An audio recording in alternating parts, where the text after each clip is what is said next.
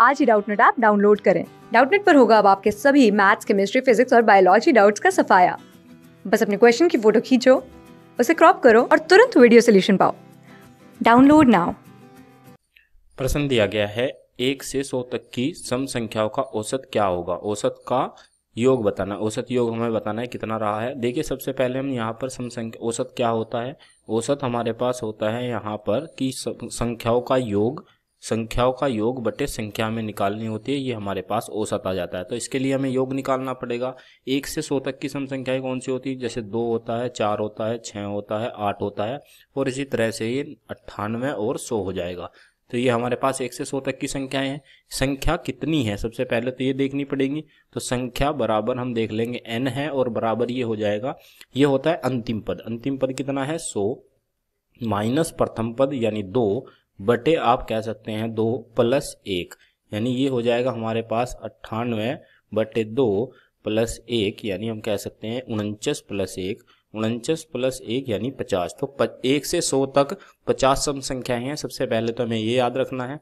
दूसरी बात हमें पता होना चाहिए कि यहाँ पर अगर हम कुछ देखते हैं इन दोनों के बीच में दो दो का अंतर है।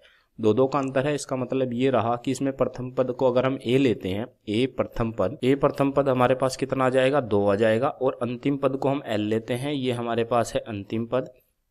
अंतिम पद कितना हो जाएगा हमारे पास? ये हो जाएगा हमारे पास यहाँ पर सो।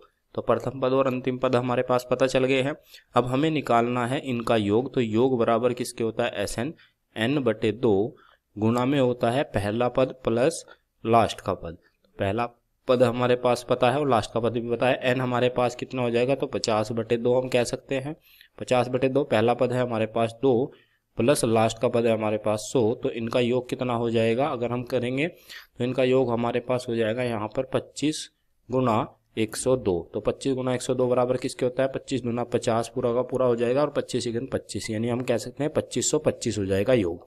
और अगर हमें औसत निकालना है तो औसत बराबर किसके हो जाएगा? अब औसत बराबर हमारे पास योग बटे संख्या होती है, और योग कितना है? पच्चीस, पचास बटे संख्या हमारे पास कितनी है? पचास। ज़ीरो से ज़ीरो चला जाएगा। पाँच से इसको काटते हैं तो पंजो पंजो पच्चीस, पाँच इकन पाँच, यानी इक्यावन इसका औसत आ जाएगा, जो कि हमारा उत्तर रहा है। तो हम कह सकते हैं इनका औसत कितना होगा? इक्यावन। धन्यवाद। क्लास सिक्स से ट्वेल्थ से लेके NEET I I T JEE mains और एडवांस के लेवल तक। दस मिलियन से ज़्यादा स्टूडेंट्स का भरोसा।